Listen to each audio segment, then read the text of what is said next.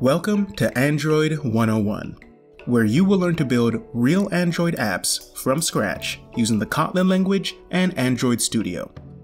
This course is actually three classes in one. We start with an introduction to Android Studio, the integrated development environment you need to use to build Android apps. We'll walk you through the interface, the file hierarchy, and the layouts, and show you how to run and debug applications. We'll also show you how to use the device emulators that come with the IDE.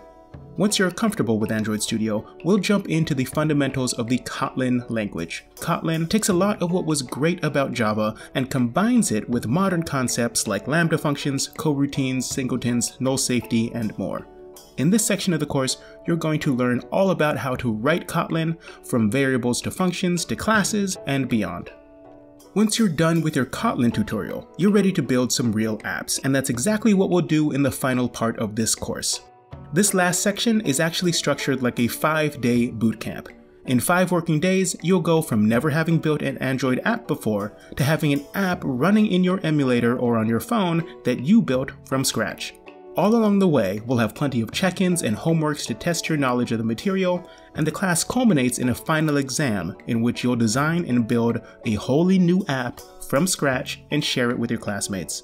If you get stuck along the way, we've got teaching assistants in our student forum ready to help you out and answer all your questions. If you'd like to learn to build Android apps, then this is the course for you.